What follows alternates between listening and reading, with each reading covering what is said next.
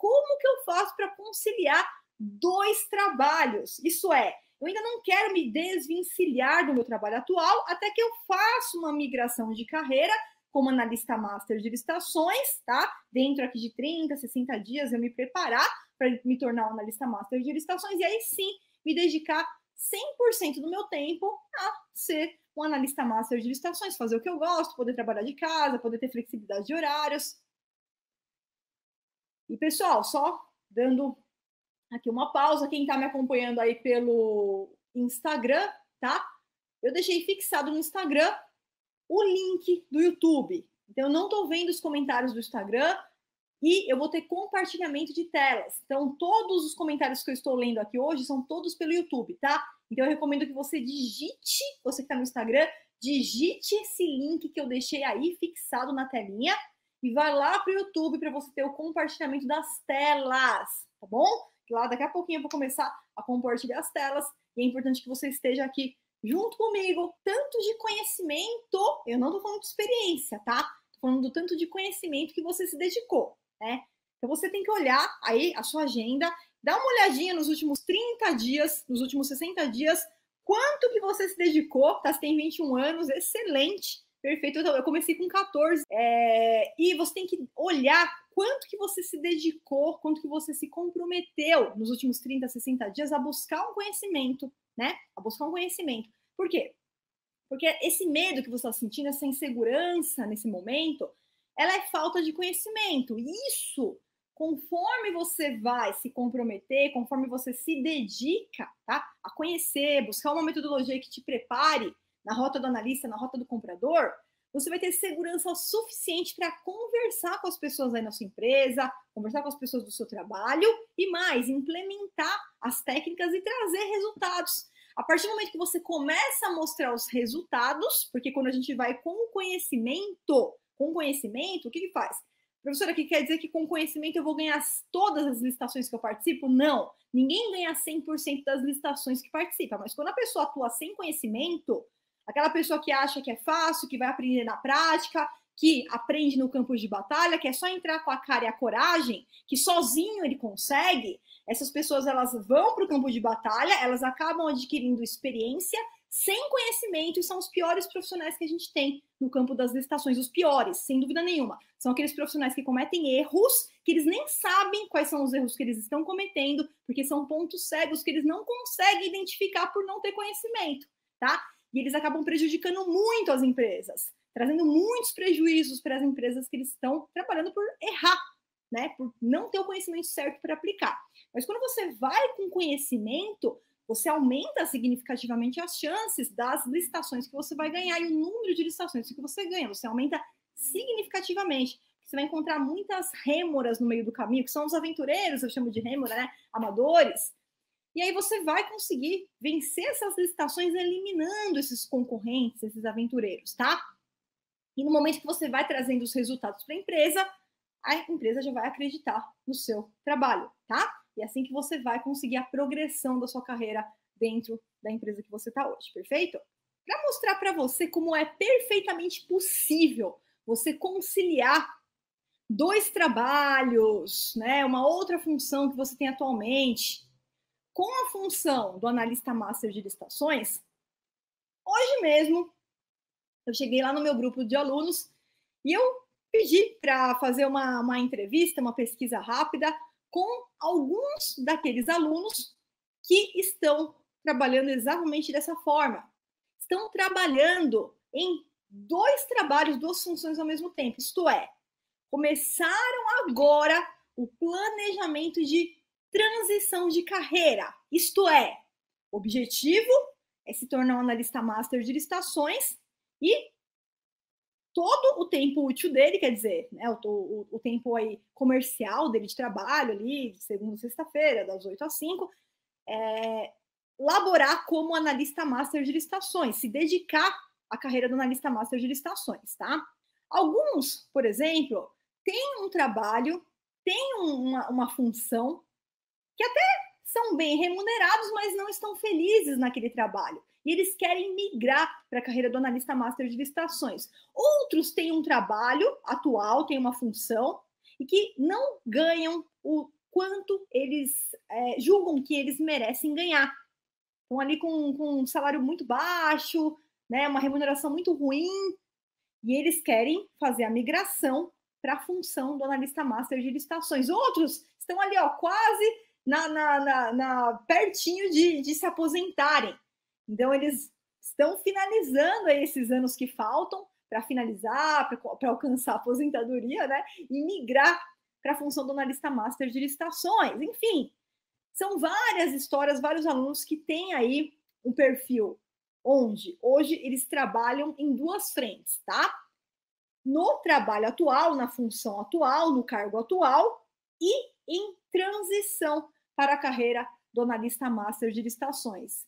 Aquele analista master de licitação que está buscando emprego, tá? Então, a maioria das transições de carreira, a grande maioria, quando você vai fazer essa transição de carreira, tá? Você começa a atuar como representante de outras empresas, porque você não precisa abrir empresa para isso, você não precisa ter um CNPJ, né? Você ganha a licitação e os, quem tem o CNPJ é o seu cliente, é aquele empresário que vai assinar o contrato com o governo e você ganha suas comissões em cima daquelas licitações, tá? Altas comissões. Muitas vezes, uma única licitação que a gente participa, a gente já consegue os 10 mil de faturamento ali, das comissões que você vai receber num único trabalho, tá? E o empresário, ele ah, recebe também, né, os lucros dele, obviamente, que ele coloca quando ele vai é, entrar numa licitação, ele recebe todo o lucro dele ali, tá? Lembrando que essas pessoas são pessoas que estão no meio da transição, acabaram de iniciar, estão pegando ali os primeiros trabalhos como analista de licitação e estão em transição. Por algum motivo ainda não saíram do trabalho anterior né? Então, nessa transição de carreira, tá? Até ficar 100% focado só como analista master de licitação. Então, o primeiro, o Guilherme, ele disse que além de analista de licitação, ele também é dono de uma empresa, ele é empresário, né? O Tiago, além de analista de licitação, ele coordena uma instituição de controle social. O Edson, além de analista de licitação, ele presta assessoria jurídica, tá? O Damião, além de analista de licitação, ele também é corretor de imóveis, tá? E, obviamente, aqui eu estou usando aqui alguns nomes, tirei os sobrenomes, porque não tem que é, é pelo sigilo aí dos alunos, tá? Mas só para vocês entenderem como, como que funciona. A Juliana, ela é advogada, e ela falou o seguinte, ó, mas eu já advogo muito pouco. A advocacia para mim ficou só como um plus ali, né? Algo ali lateral. Meu foco agora é trabalhar como analista de licitação. Ela está prestando consultoria para os clientes dela e ela também, logo mais, pretende abrir a sua empresa para vender produtos e serviços para o governo. Então, não importa qual é a sua formação original. Você viu aqui 20 exemplos que eu trouxe para você de formações em áreas totalmente esparsas, tá? Porque o conhecimento do analista master de licitação que faz a diferença para você realmente ter êxito nessa área você ganhar as estações, você conseguir participar e trazer um resultado proveitoso, trazer resultado para os seus clientes. Como é que você faz o seu planejamento para você conciliar o trabalho do analista master de licitações com esse seu segundo trabalho, para você poder até você alcançar a transição, a migração completa da carreira, tá? Primeiro aluno falou, é fácil, eu trabalho de casa. Então, você consegue, com planejamento, exercer o trabalho do analista master de licitações ali, se você já trabalha em home office. Tá simples, né? Mas você que trabalha fora também. Vamos ver, vamos ver os outros, os outros estudos de caso aqui. Na verdade, é meu primeiro trabalho, esse outro aluno aqui respondeu. Porém, meu planejamento para decorrer desse ano de 2022 é atuar somente como analista de licitação. Enquanto isso, eu desempenho a função do analista nas horas vagas. Tá? Então, ele pega ali a hora vaga dele, hora de almoço, início do expediente, antes do início, depois do expediente, para desempenhar a função do analista de licitação. Esse aqui falou que geralmente pela manhã, antes de iniciar o atendimento da segunda função dele.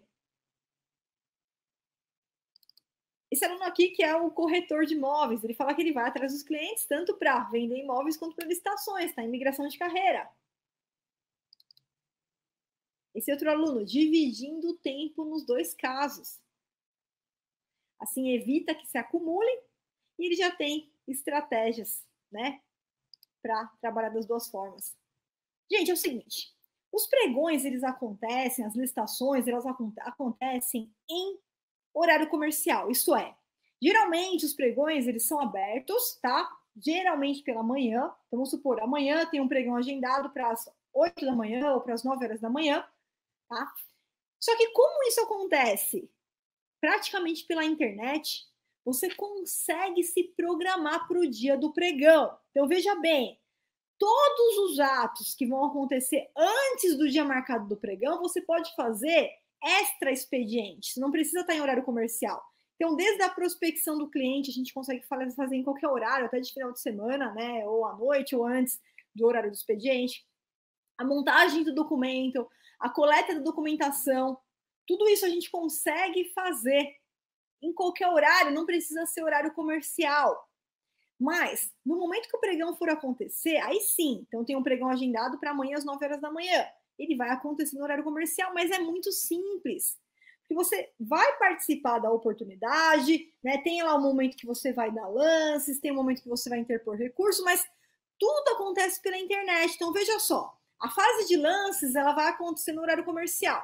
Então, vamos supor que a fase de lances comece ali às 14 horas da tarde, tá? E dependendo do pregão, essa fase de lances ela pode ser mais rápida, ela pode se estender um pouquinho mais. Quando essa fase de lances termina, geralmente, tá? O pregão ele, é, é ele acaba sendo suspenso para o dia seguinte. Então, é muito difícil um pregão que comece e termina no mesmo dia, porque o pregoeiro que está tá lá do outro lado, o servidor público que está julgando a licitação, ele também tem que fazer as análises dele. E vamos supor, seu concorrente foi lá, seu concorrente está participando. Para participar, o seu concorrente ele também anexa documentos, propostas no sistema, e você vai ter acesso a esses documentos, a essa proposta. Só que como geralmente o pregão ele é suspenso, tá? Entre a abertura do pregão até o dia que vai ser aberto a fase de recurso, o pregão ele tem que fazer as análises dele, então ele acaba suspendendo o pregão, ele avisa no chat, ó, pessoal, estamos suspendendo o pregão, ele vai ser retomado é, no dia tal, tal hora, tá? E aí naquele dia tal, naquela tal hora você já consegue se planejar para estar tá online naquele período, um computadorzinho ali do lado, um notebookzinho ali do lado para você estar tá online, para você conseguir é, acompanhar ali aqueles atos. Mas você já consegue fazer análise das propostas, dos documentos dos seus concorrentes até à noite, porque fica o sistema fica disponível ali para você entrar, para você acessar, para você analisar a proposta dos seus concorrentes. Então, apesar do pregão acontecer em horário comercial, é totalmente possível você se programar conciliando o seu trabalho atual com o trabalho do analista de licitação. lembrando que você só vai fazer isso até você é, é, efetuar essa migração de carreira, porque os resultados eles são rápidos. Qual dica você tem para quem quer se tornar analista master e nesse primeiro momento quer conciliar dois trabalhos, tá? Primeiro, é só ajustar os seus horários. O que, que ele falou aqui? Planejamento. É o que eu estou te falando agora, é planejamento. Então, se eu sei que a licitação vai ser no dia 1 de fevereiro, para o dia 1 de fevereiro eu tenho que me planejar que naquele dia eu vou ter que estar online, então eu vou ter que estar com o meu notebookzinho aqui do meu lado, né, para acompanhar ali a etapa de lances, ajuste de horários, planejamento. O outro aluno disse o seguinte, ó, perseverança, foco e dedicação. Pois não é, não é fácil, mas vale a pena. Ninguém disse que seria fácil. Ninguém diz que isso é, ser fácil. Eu sempre falo para vocês, não existe fórmula mágica.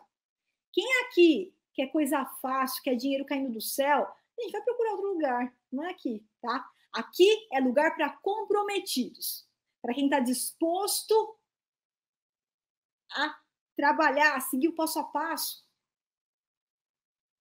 Claro que ninguém está falando aqui que é algo 100% difícil, não. É difícil sozinho, mas com um guia, né, com um passo a passo. Isso torna-se simples.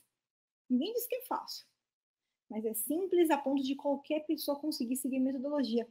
Tá? Durante a maratona do analista de licitação, no dia 1 de fevereiro, você vai ver. Você vai ver como que é simples.